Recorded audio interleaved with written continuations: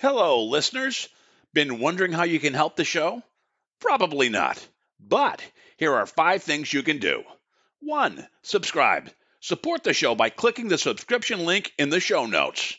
Two, review on iTunes, on our website, www.afraidofnothingpodcast.com, or on whatever app you listen to. Three, donate. When you go to our website, click the cute coffee cup icon, or in the show notes, click the subscription link. Four, share. Sharing really is caring. Tell your friends and even your enemies to check out the show. Five, watch. Wait a minute, it's a podcast, not a movie. Actually, it's both. Check the show notes to find out where to watch the documentary. You can also rent it on Prime Video. That's it. Oh, one last thing. Enjoy this episode. Hello, everyone. We've got another great show tonight. But first, I'd like to start off by thanking some great reviews from some listeners. First is from Cindy Dwyer in Shrewsbury, Massachusetts. Cindy gave me a five star review and wrote, Absolutely captivating. I love this podcast. I have learned something from every podcast. I love Robert Heske's easy and entertaining style, as well as the great guests he interviews. I look forward to many, many more podcasts. Cindy's husband, Robert Dwyer, also a listener in Shrewsbury, Massachusetts, shared another great five star review. Divine intervention, Robert wrote. Excellent podcast. Great content. Professional presentation. Wait for and enjoy every episode. A funny story. I learned about your podcast while shopping at Bernie and Phyl's furniture store. There was a large man in front of me in line talking to the clerk about a paranormal podcast he had. I searched for it, and Cindy and I have enjoyed every episode since.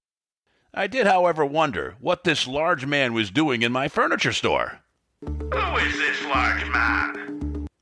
Thank you for what you do. Well done. Rob Dwyer from Shrewsbury. And then another person from Shrewsbury, believe it or not. My daughter, Emily Heske, actually went on and left a review, so I'm going to give her a little shout out here. Emily wrote, Fantastic podcast. The Afraid of Nothing podcast is fantabulous. I love it so much that I know that my dad is hosting this podcast. I love it. And I love you, Emily. Thank you for the five star review. And while I'm giving thanks, I also want to thank Danny Perez, aka Danny Radical. You might remember Danny and his wife Lauren from our 11th episode, Afraid of Cursed Objects. Danny recently bequeathed me with a custom Afraid of Nothing Ouija board. Awesome work, Danny. Thank you. To check out Danny's Museum of Wonders and Oddities, custom Ouija blood boards, radical Red Devil barbecue sauces, and blended peanut butters, and other guilty pleasures, visit www.dannyradical.com. That's www.dannyradical.com. And now, on to tonight's episode. I know it's a podcast and you can't see him, but tonight's guest is someone you've definitely seen before on television. His name is Gene Silvers. He's not only an actor, he's a magician, a photographer, and Gene had a pretty crazy year in 2020 and also shares a very unique, kind of unsettling paranormal experience. And Gene has even more to say, so tonight is just part one. Settle in, grab a shot of rye or whiskey or whatever you drink, and enjoy.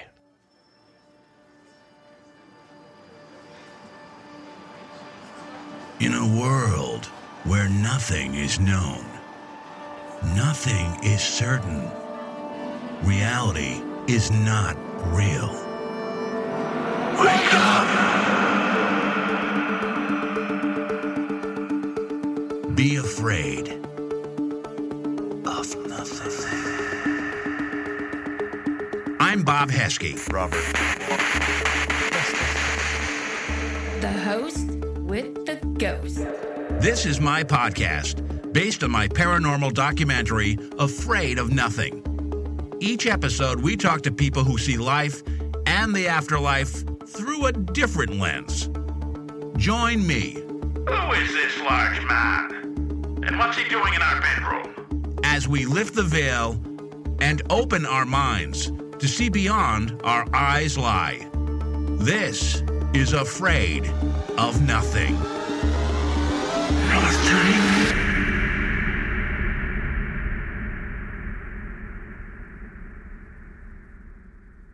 Hello, hello. I am here today with not one, but two actors. So, warning to our listeners it could get pretty dramatic. So, first actor, actor number one, Cuyle Carvin. Cuyle, my sometimes co host, how are you doing? Hey, hey, hey. Good to be back. Thanks for having me back, Bob. You were traveling around the country a little bit. Want to give us a quick update on kind of where you went and are you back home in Atlanta now? I am back home in Atlanta. I think it was like uh, maybe it was like a midlife crisis type of thing. If I'm that old, I don't know. But yeah, I was on the road for like uh, two straight months. I went all over um, about 10,000 miles. I lived in my truck. Awesome experience. And I definitely want to make it like at least a, a biannual thing. It was awesome to see the nation on my own time. It's pretty cool. Yeah, it's probably good you went by yourself. We all have heard in the news like when what happens when you travel in a van, sometimes domestic stuff. So it's good you're kind of by yourself doing experience. So, uh, oh yeah, yeah. welcome right. back. And actor number two is a, a, friend of mine, a buddy, Gene Silvers, who uh, was in my first movie, Blessed. I had I fell in love with Gene's demo. He's just an awesome actor. He did a great job in my film, and, and this past year, I mean, Gene really blew up. He had some great parts. Gene, welcome to the show. Oh, thanks, Bob. Good to hear your voice again. Yeah, you too, man. You know, 2020 was tough for everybody, but you had a, a really kind of yin yang type of year. You had an accident that you almost died from and, and put you out of commission for a little bit. And you also landed probably uh, two of your, might be two of your best roles. I know you have a lot of other great roles. First one was Them on Amazon Prime, and the second one is The Mosquito Coast on Apple Plus. So, hey, congrats. Thanks, Bob. Yes, it was a good year in those terms. Uh, but as you said earlier, the yin and the yang, there is also some terrible stuff going on. The ski accident, and just very, very late in 2019, my father passed away, which kind of was a lead up into a, a lot of this. Yeah, uh, condolences for losing your dad. Uh, real sorry, sorry about that, Gene. And I know, you know, on top of that, that skiing accident. What people may not know is you're a really good athlete. You are a very high quality skier. You do surfing. You're a magician, so you've, you've very good hand-eye coordination. But you were on a uh, kind of challenging ski slope, and something scary happened. You want to fill us in on that? Yeah, yeah. Let me let me just give you a quick quick lead up into that. So, um, it was a, a very bad year. Uh, my dad was extremely sick, and then and then uh, he had finally passed away, and uh, I was just I, I, had had gone through such a dark year. Kind of the way that uh, I like to escape, sort of my my passion is uh, is skiing, and so a couple of months after he passed, uh, I was um, finally got got a chance to get on the mountain. I was on Mammoth Mountain, California, which is probably the the uh, the tallest ski mountain in uh, California. I had been on green blue runs with some friends most of the day, and I was just itching to kind of do the the harder stuff. And there was a double black at the very top, and it was icy, and there was nobody else on it. So there were pretty much all these these signs that I should not have have done it. Uh, so it was a lot of stupidity on my part. I also just had my skis sharpened. Basically, uh, I, I got off the lift and I got to this uh, this chute that was pretty steep. I did one or two turns. One of my skis held in the in the ice and popped off my foot, uh, and then I was on my stomach, starting to shoot down on my stomach. The other the other uh, ski popped off, and uh, have you have you ever seen like a luge? How the guys are on their stomachs and they're shooting around the track? Yeah, that that, that was pretty much Yes. me uh, on a very very steep icy chute, shooting face down, Ugh. pretty much like in a Superman pose, but uh, pretty much far from Superman. I was pushing down as hard as I could with my hands to try to stop myself. I must have been doing somewhere between like 20 and 30 miles an hour. I believe one of my, my left hand hit a rock at a super high velocity, so hard that when my hand hit the rock, my feet flipped over my head. And then I started to go into what I guess you'd call a, a tomahawk spin. Have you ever seen those cartoons where you see the tomahawk flipping over and over and over again? yeah. That pretty much was me. Wow. I was flipping so fast. The fear, I can't even begin to express how terrifying it was. There, oh, I forgot to mention, as I was flying face down on my stomach, I was headed towards a gigantic rock wall. Wow. So I thought that literally, I thought I was going to die. I thought I'm going to hit this wall and it's going to be over. It was just abject terror. And that's when I my hand hit the rock and I went into this flip and uh, I basically blacked out. And then I came to, uh, I guess, a minute or two later, and I had fallen, spun, flipped about 400 feet down the mountain. And when I came to, my left hand was blown up like a watermelon, and I could see my left thumb was like twisted into like this uh, impossible position. And, and, then after I realized I, I hope I didn't completely wreck my hand, I thought, okay, at least I'm alive. And then my next thought was, I think I just might have lost the part that I was about to shoot two weeks from then.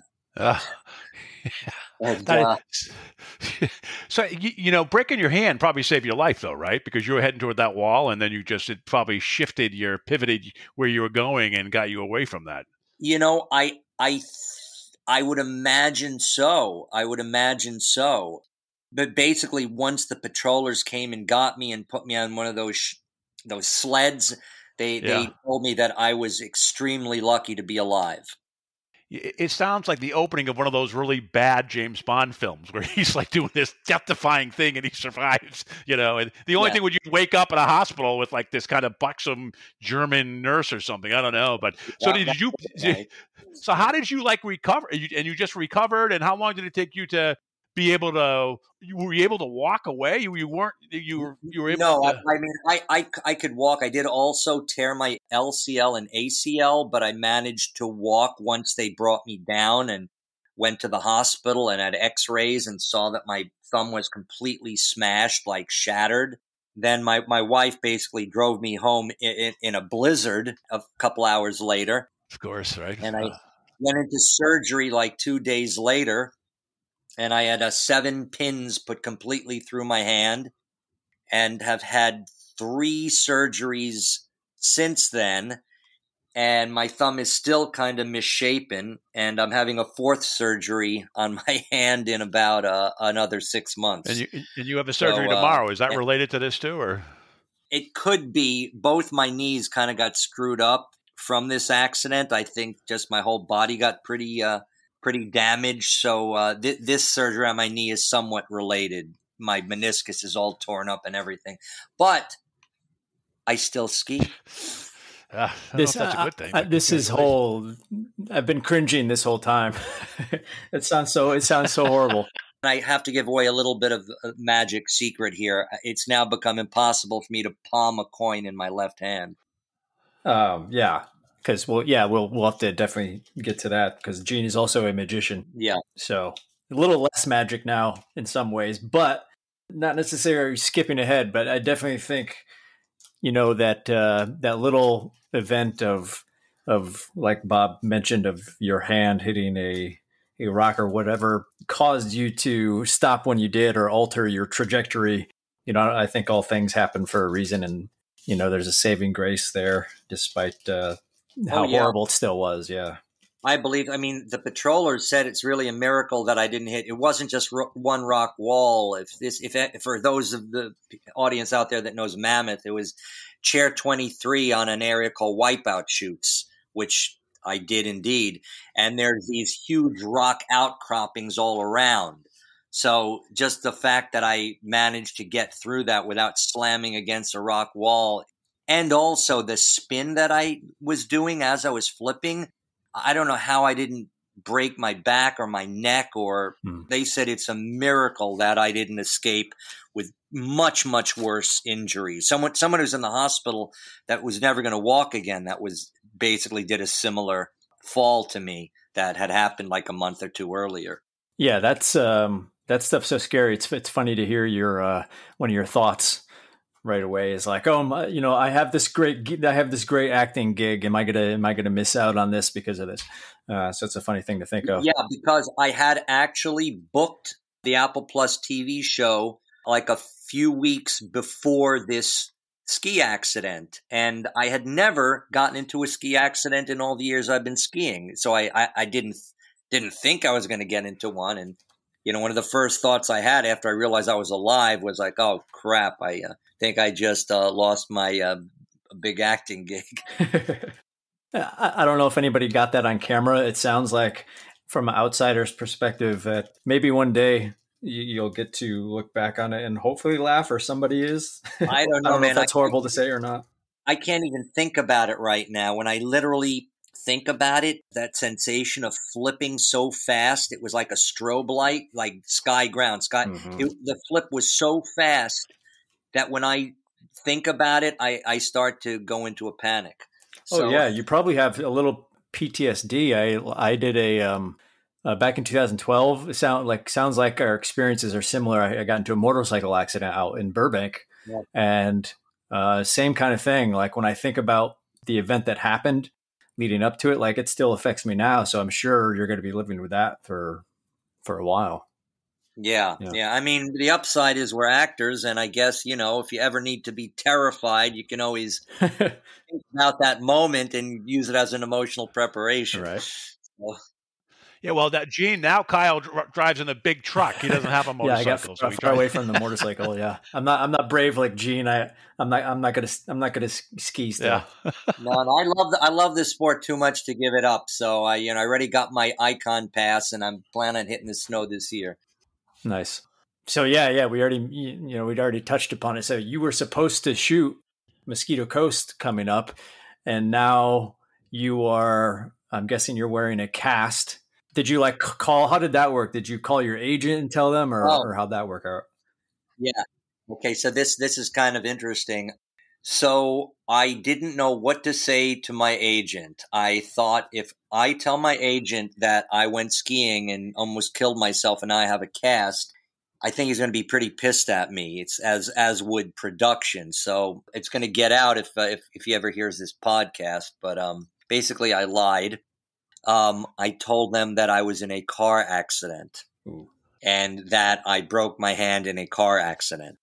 I didn't. I didn't want him to think that I was totally irresponsible, which I, I guess. you've been on other podcasts, though, Gene. I've heard this story, so that's okay. I think you'll you you would have been outed by now. I, I heard you on a couple other really cool. yeah, yeah, yeah. So um, uh, that's what I told them. He wanted to wait to see what the doctor said and what, what had to be done to my hand if there could if I could didn't have to wear a cast. But ultimately, this the surgeon said no, you're you're going to be in a cast for a while. So I, I said to him, yeah, you're going to have to call production and let them know I was I was in this accident. I'm having a cast, and I still very very much want to do the part, but can I do it with a cast? And he got back to me after speaking to production, who cleared it with the director, who happens to be a director. His name is Rupert Wyatt. He directed a couple of the um, Rise of the Plan- Planet of the Apes movies. So he's a pretty big director. They came back to my agent and said, "Well, okay, the I was the sheriff of Yuma, Arizona." So they said the sheriff uh, can have a cast. It could just be one of those quirky things, you know, like I don't know, sheriffs are man of action. yeah, that work. I mean, it totally works. And I actually watched the episode today, and I did not notice your cast. Maybe I'm that oblivious, but yeah, Oh, well, I guess I guess a lot of the cl- a lot of it was uh, uh, close ups on me, and the sleeve kind of comes over my hand. But yeah, he even asked me at one point to wave my hand around and make a thing of it, and and and they had uh, the rest of the crew sign it, so I, it had a little character on it. no, it's fun. So and, and no explanation. It just you know one of those quirky things. Guy has a cast. Well, that's perfect. That that's I think that's so cool that it worked out that way. And uh, sidetrack, it reminds me of an article I read with Stephen King um, many many years ago, at least ten years ago. He used to do a column in Entertainment Weekly. I'm not sure if he still does, but he he's right. His article was just about that kind that kind of detail in our entertainment when he said. He's like, why does everything have to have a backstory? Why do we need to explain everything? Why can't things just exist just because uh, you know he's talking about horror and criminals and, whatnot but it's the same kind of thing i love when there doesn't have to be an explanation for everything Well, there's quirkiness in life. I think the first time I saw something like that was in Fargo. I, I don't remember exactly where, but there were all these little quirks that weren't explained, and you just sort of realized these are real people and they're they've got idiosyncrasies and that's it. It's not really important to the story but they, it adds a level of detail that just makes it interesting. Absolutely. there's another interesting story around that uh, experience. I don't know if you noticed in the beginning uh, the, the helicopter lands and i greet the two um, fbi agents and I say, "Hi, I'm I'm Sheriff Gene Sil. I'm, I'm Gene Silvers." Oh, I totally heard that. Yeah, that's so funny. I was going to ask you that. I was like, "Did you say your name?" Because that's so funny. this is one of the few times you will see a character with the exact same name as the actor. And uh, what happened was uh, the helicopter landed. The two FBI agents got off, and the director said, "I want you to greet them. Give them some kind of a greeting." So you know, usually when you greet someone, you you say your name and you know I'm the sheriff and and so and so. So I just said my name. Hi, I'm uh, Gene Silver, sheriff of Yuma. Welcome to uh, wherever. And I don't know. I just I didn't realize they were going to keep it in the show. and you know, this was on the spot. I wasn't about to make up a, a name, so I just said my name and thought they'll blur it somehow or won't won't use it. But they ended up use, using it. So there it is. Yeah, that's so cool. You got to play yourself, and there's a whole part designed right after right after you. Yeah, How cool is that? Cool, yeah, That's right. yeah. So uh, you know, just just to give you a little background on the show, uh, Mosquito Coast is uh, it's based on the the book by Paul Theroux and it, the movie of the same name with Harrison Ford, and it's starring uh, Justin Theroux. He's this uh, idealist that uh, raises his family in, in a very purist, anti-consumerist way and uh, somehow ends up getting in trouble with the FBI and is trying to escape America to this uh, utopian group in Mexico. He basically, through his wit, gets into Mexico. He's very, very smart, sort of like a MacGyver. And uh, once he, he travels into Mexico, the FBI comes to the town from where he escaped and I'm the sheriff of Yuma that they make contact with and we have a, a couple of scenes where I sort of get the record straight on on what happened and set up something about the border and the way things operate. There's a little bit of politics involved there, but that's basically the the idea. I'll have to watch more of that because it sounds pretty cool. And then this other show you worked on, which is called Them on Amazon Prime, so why don't you just tell us like a little bit about the show? I watched your episode today, and it's it's like Bob mentioned, it's really uh, it's pretty intense. So why don't you fill us in on the show and uh, and your involvement in it? Oh, sure. Uh, you know, there's so there's so much to say about this show. When I first got it, uh, it was actually a director I had I had worked with before in New York had thought of me for this particular role, and I didn't know anything about the show. Uh, he sent me the script, and I saw the things that I had to do as this character, and they were pretty bad to say the least. Uh, just to give you some background on the show, first, what was the number one show on Amazon Prime for a couple of months, and it was pretty controversial. It starts out that there's um, a suburb in uh, California. It's Compton, and Compton back in the day was was an all white uh, suburb, white picket fences and, and neatly trimmed lawns and, and all that. Now it's it's a very different place, but back then uh, that's what it was like. And this black couple, to escape the racism of the South, comes to move to uh, to this area. And at first, they're welcomed by these middle class, supposedly nice people. They're welcome there, but things start to deteriorate and get more and more horrific. First, psychological torture, and then just uh, very, very bad stuff goes on. And it, it enters sort of a supernatural element, Bob, which I think you'd really enjoy. There is this one main villain who's very mysterious. And in episode nine, there is an origin story of this character played by an actor named Christopher Heyerdahl. You you've probably seen him in a million movies. He was in Twilight and Hell on Wheels and a, a bunch of stuff. And that's the episode that I'm in. the the Compton ones almost seem like the 1950s or 1960s, right? What's the time frame for the main set of the uh, of the series? Because your your episode is like another lifetime, like in the you know Amish days or whatever the 1800s right. or something. Correct? That's that's correct. Yes. So so the first eight episodes are all in Compton, and like the the it could be the late 50s, early 60s. And my episode takes place in the 1860s, right after the Civil War. And there's no explanation to it. All of a sudden, you're watching this show that's taking place for eight episodes in in the 1950s and all of a sudden it's all black and white and you're on this pioneer village in the desert this bizarre dutch religious community uh, that's very hard scrabble and barely getting by. That's when my episode takes place. Yeah as you mentioned there's uh, there's some you know especially in the in the current political climate or i guess it's not even current but with a lot of the the racial issues your episode dealt a lot with that. So why don't you you dive into like your character and and, and your personal experience a, a little bit more of doing the show? Oh, I, absolutely. So in my episode, I had already explained that that this this black couple uh, in the in the previous episodes had moved to Compton, and slowly they started to become tormented. So in my episode, there's another African American couple on their way to a, religious community, their their their wagon breaks down and they get taken into my community. Sort of a parallel of what happened later on, but uh, like 100 years earlier. Uh, and they get taken into this religious community. And at first, things seem really copacetic, and gradually things start to get worse and worse and worse.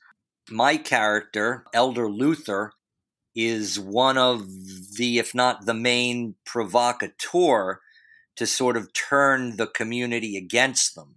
At first, it's sort of subtle, and then the things that I have to do get pretty horrific. So when I read the script and, and saw what I had to do, I, I don't know how much detail I should reveal, but uh, you you know what I'm talking about, right? Yeah, yeah. I thought that if I ended up doing, I mean, it's about the worst stuff I think I've seen on a TV show.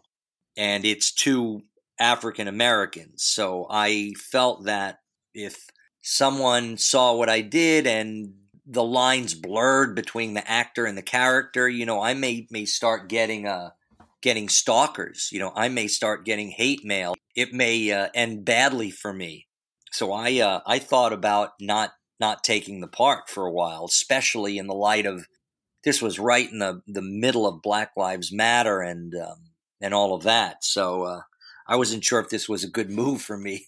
Yeah, that and uh, I guess it could have gone the other way too. Not not just um, hate mail, but you could get uh, love letters from some certain people that you or certain groups that you you know in support of oh, your yeah. your your character. You know, because some some folks out there have a tough time differentiating characters from the actual actors. So yeah, I mean, yeah, I, I think 99% of the people are going to realize, oh, this is entertainment and somebody has to play the bad guy. Yeah. You know, just like Ralph Fiennes had to play a Nazi in Schindler's List and he got an Oscar for it. But there's there's always there only takes one or two you know people yeah. out there that that blur the lines to make life difficult for me. So um I thought about not doing it and I discussed it with my agent, my friends, and they said, look, this is a huge opportunity for you, and, and people will realize this is entertainment, and you're not that guy, clearly. And uh, you'd be a fool not to do it. So I ended up doing it. Gee, just to add, like, so the first eight episodes, I, have seen a couple of them, but I, I'm imagining the first eight episodes have kind of a build to the supernatural stuff. Where this episode that you're in, it like takes almost those eight episodes in a different time period and crunches it together in this crazy type of they arrive, everybody seems friendly, uh oh, things are turning, and then all hell breaks loose. So there's really a lot that happened in your episode in one tight time period. Yes, yes. I mean, the the, the basic idea was that one of the the main villain, uh, Epps, uh, again, uh, the character was played by uh, Christopher Heyerdahl. He exists as this villain in the previous episodes, and in this episode, you see how he came into being. He's actually um, like I, I don't want to say an immortal, but he's at least a couple of hundred years old. So in my episode, you see how he came into being. He kind of made a pact with the devil in a way. You you find that out later on. But that's that's the reason for this episode, which which is very interesting. It, it kind of hurt me in, in a way, though, in, a, in, a, in its interesting way. I, I um, at first had probably the second lead in the episode, but uh, my part got cut down a lot because they wanted to focus a lot on Epps, which I totally understand. But um, what what you see of me is about half of uh, half of what my part actually was. Yeah, it was still pretty substantial, though, right? Do you think, Cuyle? Or? Yeah, yeah, it was a great role, and I think uh, Gene, you did a great job. I didn't know Bob very well during his. I didn't. I didn't know you at all actually when you're when you did your feature, and I watched it years ago when we first met. And so I've seen Gene. I've seen you in that uh, in in uh, Blessed, and I've seen you now in them, in Mosquito Coast, and you're fantastic. So um, yeah, you did a great job. You always do. Oh, thank you. Yeah, it, it was it was actually. I mean, despite all the crazy stuff I had had to do, which again I I, I am hesitant to reveal. I don't want to put too much of a spoiler into it. It was still a really amazing time. I, I got a chance to live in Santa Fe for five weeks. We shot it during COVID. We were we were one of the first shows to start shooting again, so we had to be tested twice a day. Someone on set did come down with COVID. Set was shut down a couple of times till they were clear so I got a chance to really explore uh, New Mexico, hiking in the local mountains and hanging out in this beautiful town of Santa Fe. And so you got to be there for um, five full weeks. Yeah, I mean that's so cool. You got to be there for five full weeks. How, how much of the five weeks were you on set? I'd say about three of those weeks. Oh, so you were still there a decent a bit there. I was, yeah, I was yeah. still there, and they they had built an entire town in the desert for this production. We had these unbelievable, authentic Dutch costumes, and we all had to speak in these uh, crazy Dutch accent. The extras were incredible. I mean, I don't know where they found these people, but I looked at some of these people. I said, "My God, they look like the real thing," you know. So there was just an authenticity to the to the entire production. I mean, they really put a lot of money into it. So just just being on set was an amazing experience. Yeah, that's so cool. Who's the director, Cuyle? Uh, sorry, uh, who's who's the who's the director or producer of this show? The director was a guy named Craig Macneill. Hmm. Done a lot of a lot of movies. Yeah. He did a movie called Lizzie about Lizzie Borden. Yeah.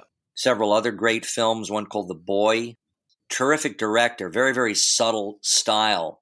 The producers was Lena Waithe and Little Marvin. Yeah, Little Marvin, right. Okay, cool. Did you see them on set? Were they there? No, no, no. They they didn't come on set. I, I believe they were probably more active uh, in the uh, California sh- uh, part of the shoot. Okay. Yeah, but it was it was an amazing, really an amazing experience. I mean, despite the dark nature of of what we all had to go through, everybody just supported each other and got along. It was just a fun set to be on. It was just a such a beautiful place and you really felt you were living in another century. So the feeling of being transported it was just uh, amazing just just being there. You know, Gene, you and Cuyle have a similarity. Um, besides being in horrific accidents, you guys have done a lot of TV type of uh, police drama shows. Cuyle, what are some of the ones that you have been on? Oh boy, you're te- you're testing my uh, my memory here. Pull up your IMDb page. Well, I do know. I think uh, Gene, you were on Law and Order. I think you were on all three versions of the Law and Order. I was only on SVU. Oh, so you must have lived in New York for a while. Yeah, that's where I started. I, I well, I'm from upstate New York, and then after college, I moved to the city. I was there for a few years, and then it was like back in 2000 10 is when I moved to LA, but right in that turn of like 2009, 2010 was right when I, I, don't know if it was like a tax thing that disappeared or what was going on, but all the law and orders except for SVU were canceled. And they had like all the soap operas were leaving. So there's like, there's so much stuff that was leaving. Mm. Um, and now, you know, it's crazy again. But, but yeah, I was in New York for a little bit. Yeah, I think I think it was a tax thing. I mean, that states kind of do that. They give that that tax break, and and and then after a while they cancel it and they flee to another state. you're in Atlanta, so that's another hot spot that gave the tax breaks, and uh, and a lot of actors moved there because that was a, a new Oh, yeah, opportunity. yeah. And now New Mexico, and now New Mexico is that place. Yeah. I actually went out to um, Netflix studios a couple times there in Albuquerque just to check that out. And yeah, it's like, you know, they have the Netflix studio there.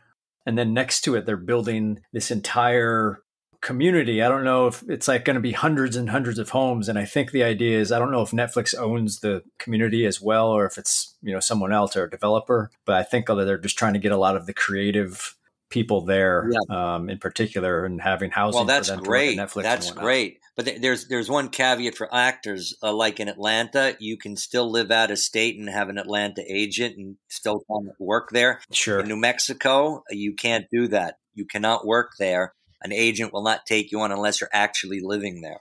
Yeah, yeah, that's actually it's actually smart, and I think it's um I think that also comes from some of the, like the contractual agreements and stuff to have to Yeah, have to hire local- like certain talent. Yeah. yeah, the local community. Yeah, it makes sense. Yeah, Anyway, you you would ask me about the law and yeah, I was on a lot of the law and orders, a lot of the law and orders. Yeah. Your Raymond Hobbs one. Talk about that because that's the one that's probably was Emmy nominated. Oh yeah, yeah. one. That was uh that episode of Law and Order is probably being played somewhere in the world all the time. I am still getting resid I mean from other ones too, but I'm getting so many residuals from that one. It's it's one of the all-time popular Law and Orders. They want to kill me. No, they don't want anybody getting hurt, including you. No, no, no. They they think that I killed those girls. I don't know what they think. If they didn't, why else would they come looking for me? Sometimes police make mistakes. It's always a possibility. I was the guest lead on the show, and I kidnapped a woman in a pharmacy, and I asked for a lawyer. So a lawyer came in, but it was actually the opposing lawyer. That was played by Elisabeth Röhm. I inadvertently confessed to her, and then there, there was a, a big court case uh, about could they use my confession in court because I was tricked. But I was tricked because a woman's life was in danger. I mean, they've got all this really interesting uh, stuff which was great about the show.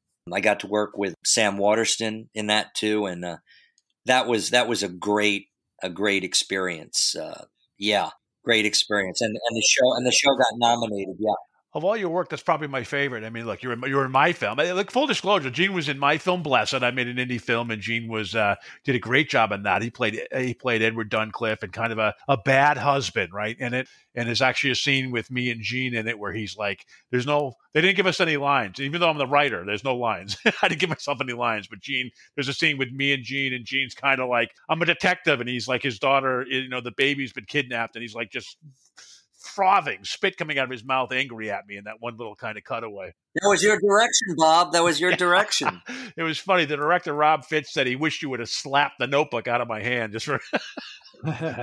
Ah, I I, I would have loved So- to, Bob. I would have loved so to. So we're gonna get to paranormal in a, in a little bit, you know, but just on the set of Blessed, the main four actors. Cuyle, I don't know if they ever did this on any of your shows, but they played like a little prank at the very end. So, Gene, you want to share kind of? There was like uh, there's a scene where Gene is he leaves town. He tells her he's going to leave town for work. He's got a pregnant wife who's suicidal and just not doing well. Uh, the Wow. whole premise of Blessed is a woman who's pregnant and has this really big guilt from a childhood thing with her sister, entrapped in a horrible marriage and a stalker ex boyfriend. Everything's going wrong. And this guy moves in next door and he turns out to be a uh, 2,000 plus year old guy. So the whole premise of the story, once it's revealed, is here's a woman who can barely survive day to day who meets a man who's lived forever. What can she learn from him, right? Mm. So there's a scene where, you know, Gene's the bad husband and uh, he is in this. Now, Bob, Bob, I, I have to I have to pipe in there. I didn't think I was a bad husband. I, you know, Well, compared to Uh, Luther Elder, yeah, you're actually like a saint compared to that Yeah. guy. yes, compared to Luther Elder, he was a saint.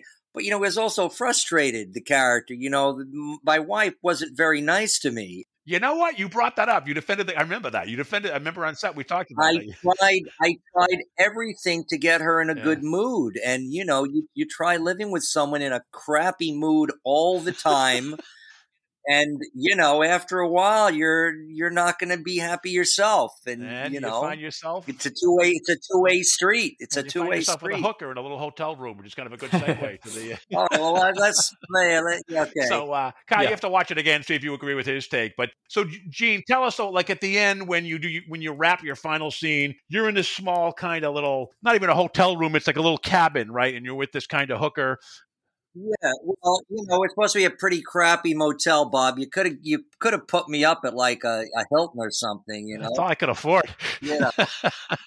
but uh all right. So yeah, basically I you know, my my character's supposed to go on a business trip, which which I believe he did. He just took a little side side uh, thing and um he uh, calls a prostitute. Again, Bob wrote it. I didn't write it. Okay. Yeah. Calls a prostitute. So there. Oh, and Bob also wanted me to do a little magic for the prostitute. I'm I'm a magician.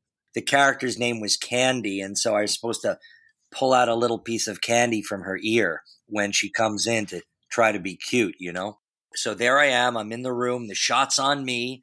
Uh, and I'm all excited. I'm waiting for this prostitute to arrive, and the door knocks, and I'm here. And uh, I eagerly opened the door, you know, waiting to feast my eyes on this beautiful prostitute. And um, what they had done was basically put a, a, a blonde wig on probably the uh, one of the more fleshy, masculine dudes there. and and, yeah, his and, name's Kurt Bergeron. He was, yeah, he was. Uh, and, and he's related to Tom Bergeron, by the way, Cuyle. But yeah, he he pretty much had grotesque makeup on as well, just to really you know make it make a whole thing of it. And I was not expecting that, and you know I uh, had a had a pretty interesting reaction, which was caught on camera, which I still haven't seen. You haven't seen that? I I, I have to check for the outtakes on that. I can't have believe not you- seen my reaction to Rod Bergeron coming in as a prostitute. So All right, I, I'm gonna have to. I'm gonna have to fish that up for you. I want to okay, yeah. I want to see that. Hi, I'm Candy. I'll bet you are. Oh. All right. We'll reset, reset, reset. Okay. Man, let me know when you're ready. Damn it. Hi, I'm Candy. I bet you are. You sound yeah. You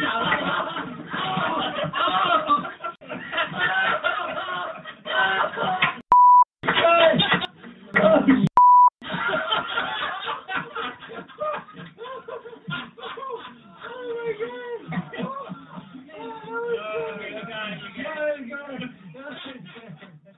So, Cuyle, did that ever happen in any of your productions where you're rapping and they play this kind of joke gag on you at the end of your thing? They do something, they kind of surprise you.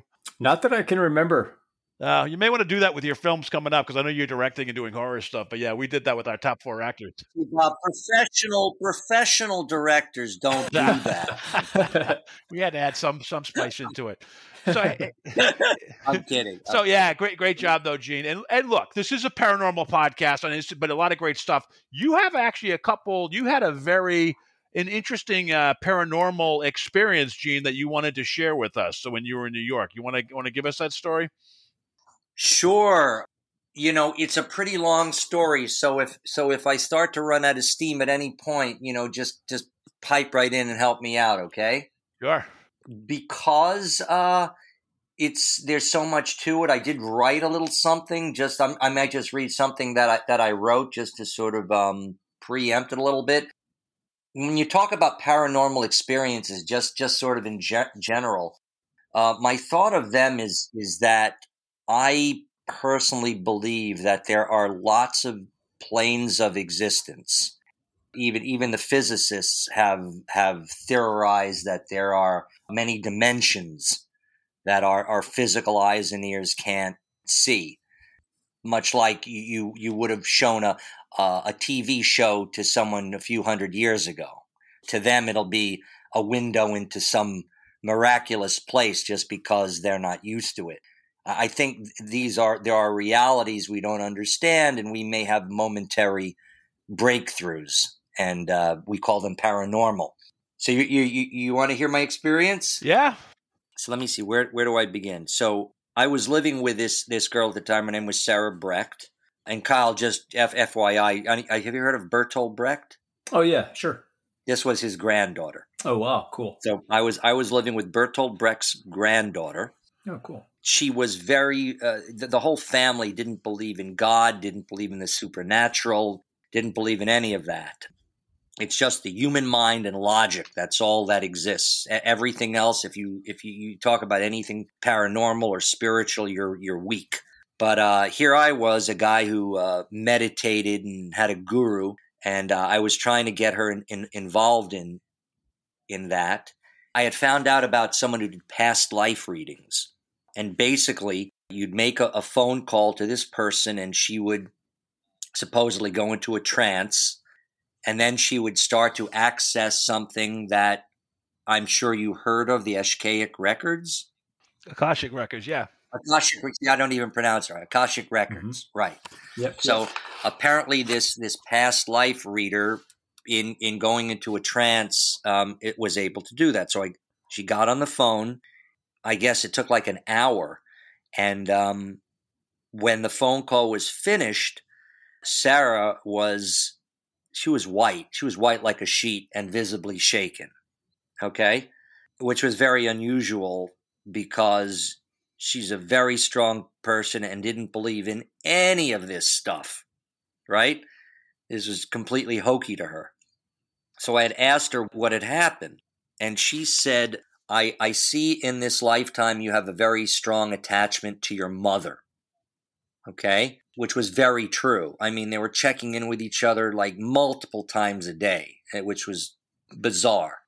And um, she said, sometimes I see these patterns and these attachments to, to people come from an, something, an emotional scar from lifetimes earlier.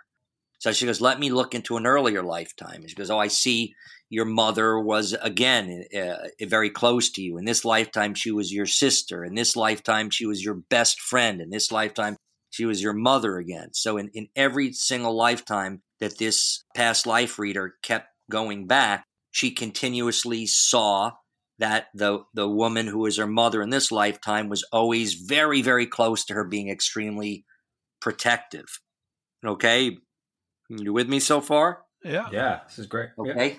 so she goes let me let me see where the originating lifetime of this uh, this attachment began. And she says i see a lifetime many many many centuries ago where you are a nun and you are in uh, a I don't know what you would call it. I'm I'm Jewish, but you know, it's a, a monastery or a nunnery or or something like that, right? Where convent, yeah, a convent, a convent, right? Convent where all the nuns lived together, and you were one of the younger nuns there. And the woman who was your mother in this lifetime was the mother superior, the the head the head honcho nun. Okay, she said, I see a very important male priest, a priest or a cardinal or or someone very very high on the on the echelon who would would constantly uh, frequent the nunnery and ultimately she said that this priest not just a priest but he was a very important figure in the priesthood basically raped raped you and made you pregnant.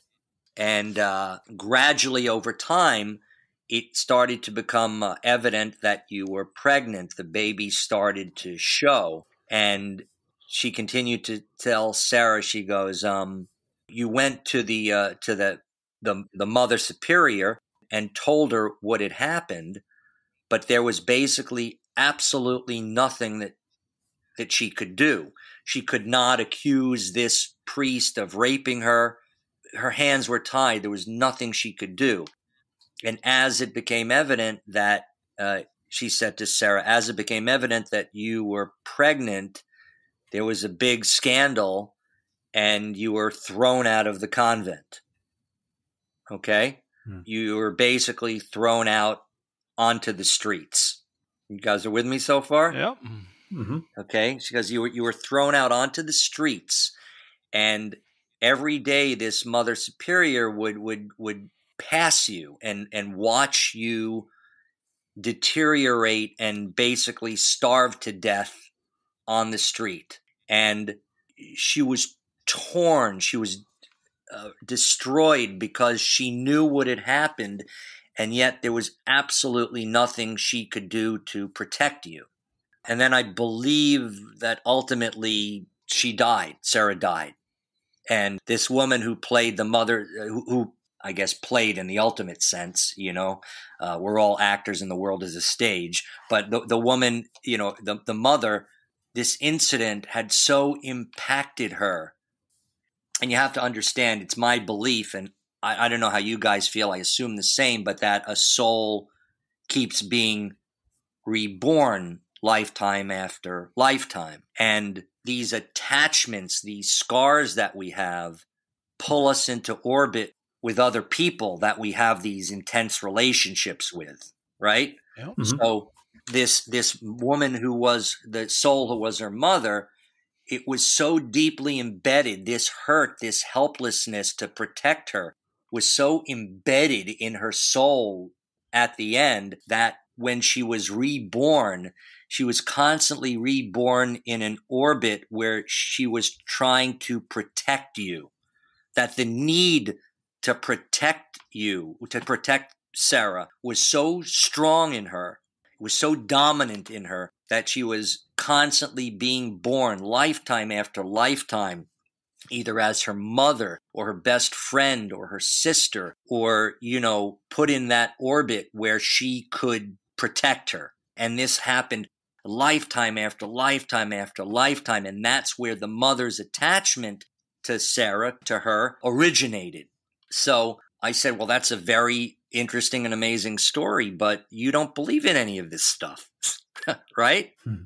So Sarah says, Yes, but when I lived when I when I lived with Sarah at the time, um, the whole family was very much involved in the avant-garde theater of the East Village, and her mother, uh, Mary Brecht, who has since passed on, she was a costume designer, a, a very big costume designer, very talented woman uh, for a lot of uh, plays in the East Village, for like early Sam Shepard plays and Robert Wilson, and really important figures in that world. Hmm. And um, she was doing a play about uh, a play was being done about nuns, and so the mother said to Sarah, she goes, you know, one of one of the uh, actresses in our show is about your size, and I'm trying to make sure the costume will fit. So this is a nun's habit. Will you please put it on just to see if it fits? And at the same time, Mary, the mother, had also a nun's outfit on. So Sarah came out and they basically faced each other wearing two nuns' outfits.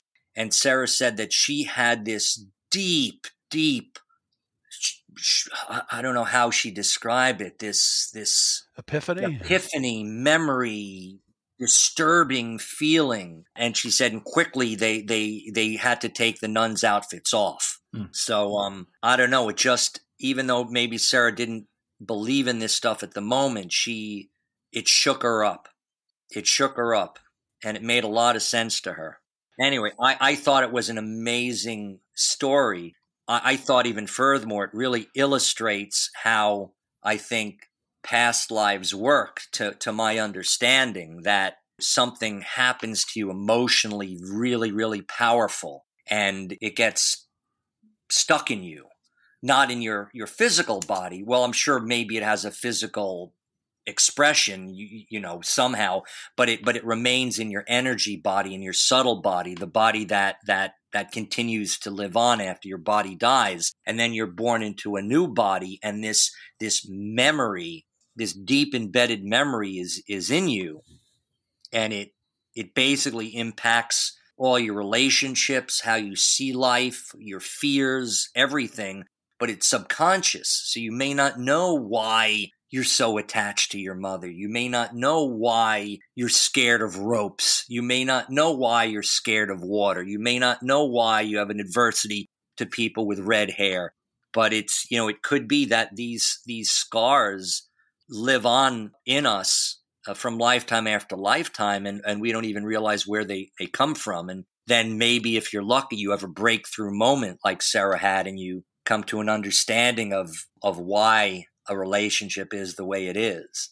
And I think it really illustrates the mechanics of, of the way this stuff works. Yeah, you know what's kind of interesting, uh, Gene, is Cuyle has a similar, not a similar thing, but he has this thing with Salem. You want to give uh, Gene the Reader's Digest version? Because you kind of go through something. You have this, you grew up in Oneonta, New York, I think, if I have the right town. Mm-hmm. You went to Salem one time as a kid, Cuyle, but you felt this weird connection. You've talked to psychics and you keep being drawn back there, right?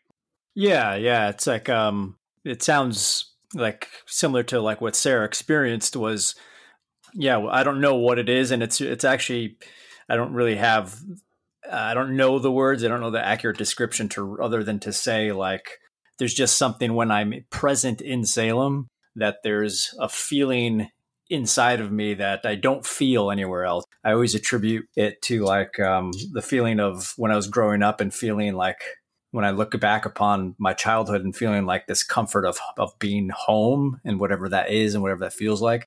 So now it's like whenever I'm in Salem, that's just how I feel. I feel like I'm where I should be. Mm. Yeah, it, it's a it's a strange it's a strange feeling. But I, I I'm interested, Gene. Um, what is this? How did you come to your perspective of you know reincarnation and, and your beliefs and oh like how that is that something you've thought for a long time or what what changed for you? Sure.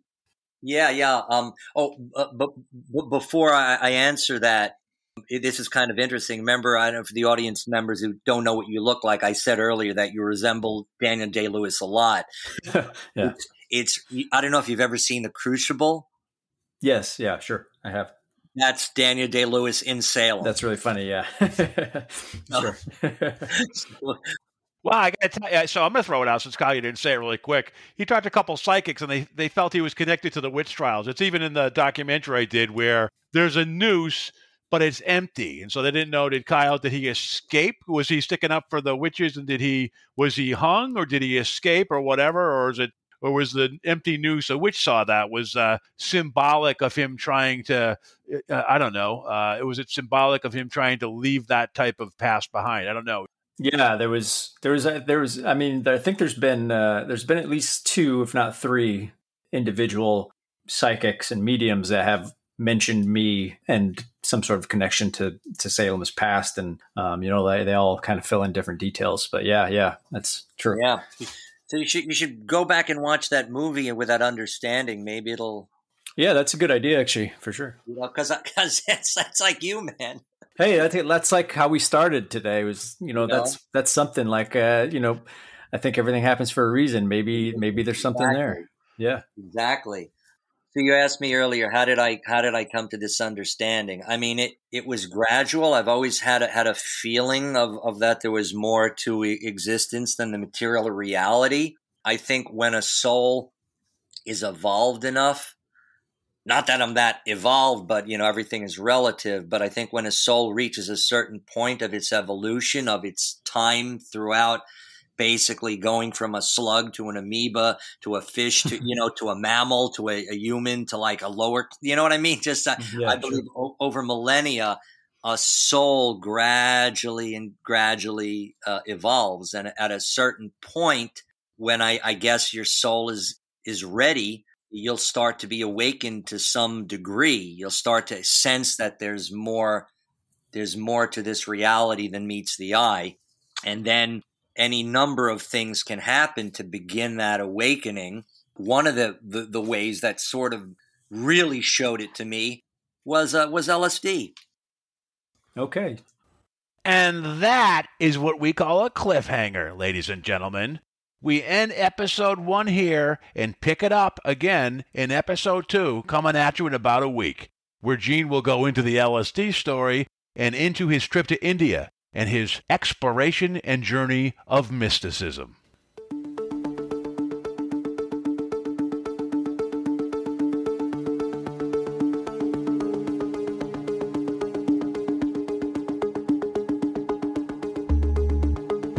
You've been listening to the Afraid of Nothing podcast. Please subscribe and like us on Facebook. Until next time, stay scared.